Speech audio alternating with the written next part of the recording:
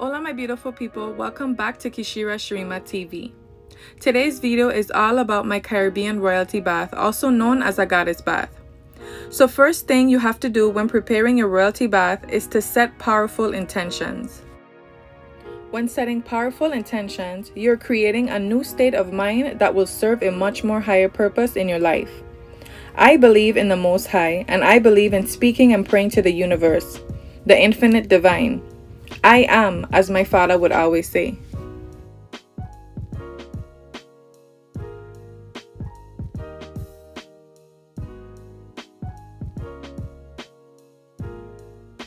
But before I set my powerful intentions for this bath, let's go ahead and make our honey oats and coconut milk soak.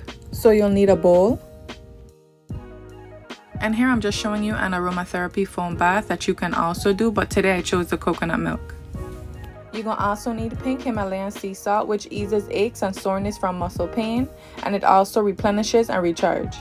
And of course, you're gonna need your coconut milk. It's high in levels of vitamin C. It helps maintain elasticity. It is rich in copper, which prevents wrinkles, sagging skin, and aging spots.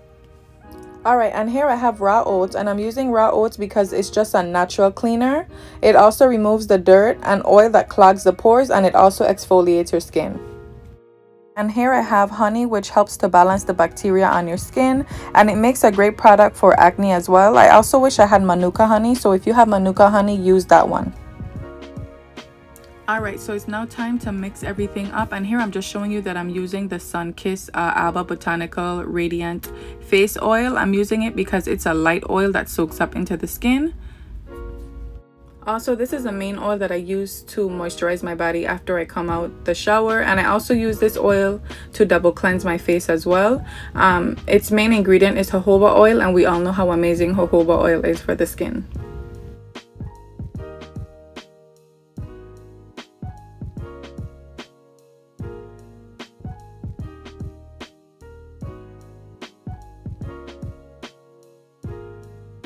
Alright, now let's get into this Caribbean Royal Bath. Don't forget to subscribe and I hope you guys enjoy the rest of the video. By the way, do me a big favor and watch until the very end.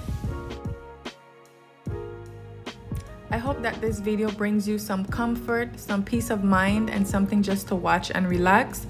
And for those of you who are going through a hard time right now, I send you so much peace, love, and light.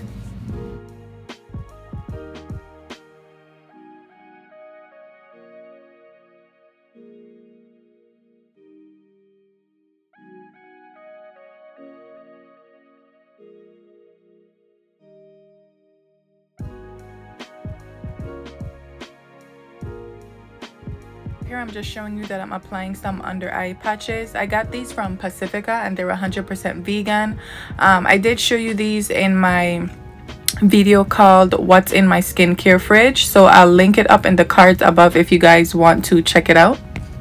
By the way, also remember that it's okay to feel your emotions and to go through them. It's okay to feel angry or frustrated or sad or confused, um, you know, but also take a day to reset sit with your grief and understand what's going on and don't worry about being productive that day and just make time in your schedule to intentionally take care of yourself I got those five self-care tips from a young lady named Audrey on Instagram. I'll definitely link her Instagram below.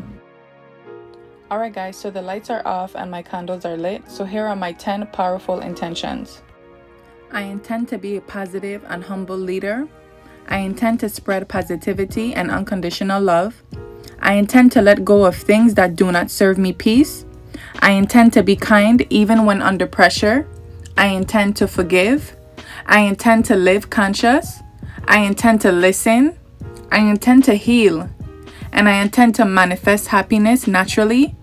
And I intend to accept life as it is in the present moment while enjoying life with the people that I love.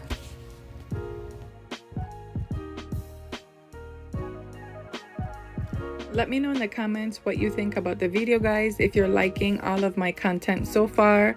Um, you guys don't know how grateful i am to have you here with me on this youtube journey and i can't thank you guys enough